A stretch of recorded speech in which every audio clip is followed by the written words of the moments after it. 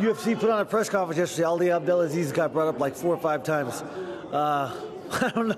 He's a superstar, you know, uh, because of because of the person that he is. Uh, a lot of times, you guys are never going to hear, you know, who he actually is.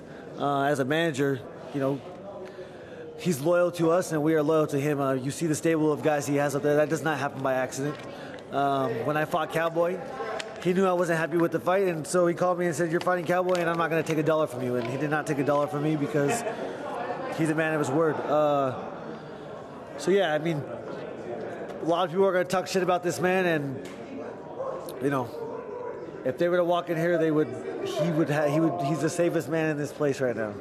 You know, I think what, what Ali's doing here is unprecedented, and there's definitely going to be a lot of people that are going to try to follow suit and uh, and bite off uh, dominance MMA. Um, you know, obviously I've been with Ali for, forever, and uh, I'm just proud of him and seeing how far he's come and